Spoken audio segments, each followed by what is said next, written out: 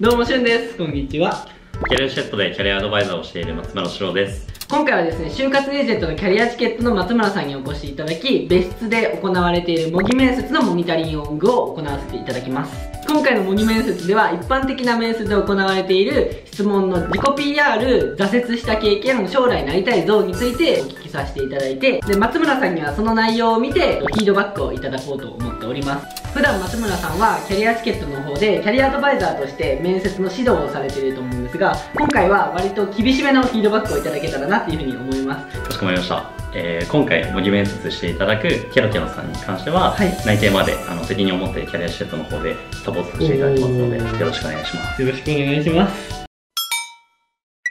自己 PR をですね1分程度でやっていただいてもよろしいですか？名前はケロケロますみと申します。明治大学の5年情報コミュニケーション学部に所属しております。5年なんですね。はい。はいで大学時代主に頑張ったことは挑戦をテーマに結構いろんなことをやってきたんですけど、はい。他大学でのサークル活動だったり、はい。まあ、7個以上やったアルバイトだったり、まあ、あとはクラウドファンディングとか、うんうん。ヒッチハイクとか、うんあと YouTube 活動とか、うん。結構幅広く挑戦してきました、うんうん。あの多分いろいろこう経験されてると思うんですけどその中でも特にこう自分の中で頑張ったんだとか力を入れたなみたいなことがもしあったらお伺いできればなと思うんですけど。一番頑張ったことは他大学でのサはい。ークル活動はない。んですけど「ゴステル」っていう歌を歌うサークルなんですけど、はい。そのワンマンライブみたいのを年に2回行っていてはそれがすごく大規模な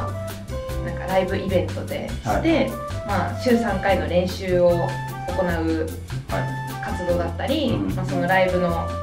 集客を行ったり大体1300人ぐらいのキャパの箱で、はい、うん。やってました。なんかこう一番最初にこう挑戦をテーマに幅広くいろいろなことに挑戦されてたっていう話があったと思うんですけど、この中でもなんでこの時にこうスペルサークルがご自身の中でケロケロさんの中で一番こう頑張った経験になるのかっていうところってなんかポイントってどの辺なんですか？今まで自分がやったことないことをやってみたいなって思っていて、大学でサークルに入ってはい。他大学の人とかいろんな人とこう付き合いができるようになっいてうん。楽しいなって思ってはい。それがすごく良かった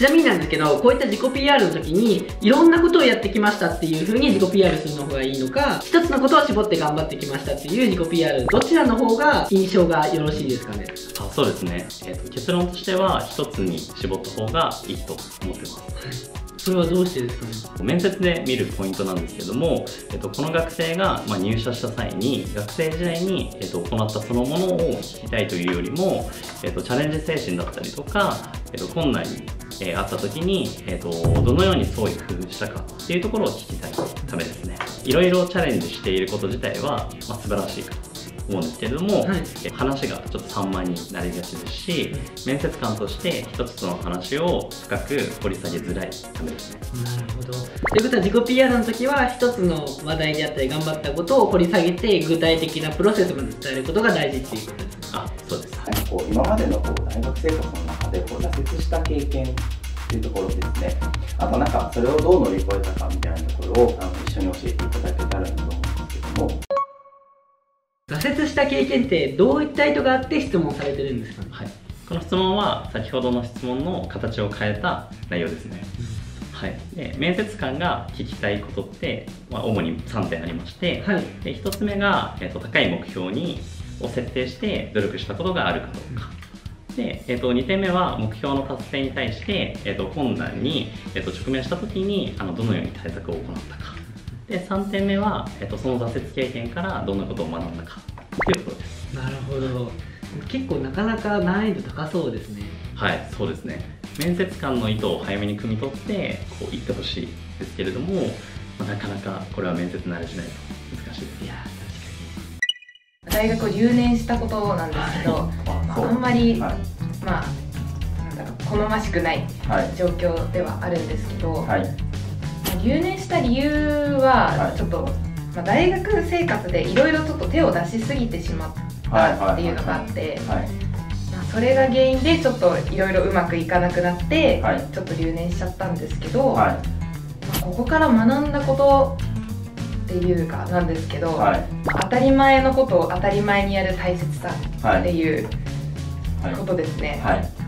まあ当然なんですけど時間を守るとか挨拶をきちんとするとか、はい。本当当たり前のことなんですけど、はい。そういった当たり前のことをきちんとやっていくっていうことが本当に大事だなと思っていて、はい。ちなみにキロキロさんこの収録に20分遅刻しました。これダメですね。いや体現できてないですよね。体現できないですね大学の留年っていう、まあ、一つのこう挫折した経験っていうところをなんかどういうふうにこう気持ちの部分で乗り越えたかみたいなところを、まあ、聞いてもいいですか？はい。まあ私自身留年というものに対しては、はい。まあ、最初は結構ショックだったんですけど、結構ポジティブシンキングな部分もあって、はい。すぐにこう切り替えることができたんですはね、でも、はい。はい。自分自身は切り替えられたとしても、ま、周りに申し訳ないというか、うん信用を失う気がして根底にあるうんその信用みたいな信頼してくれてる部分っていうのがちょっと崩れちゃわないのかなっていうのがはい。心配だったので、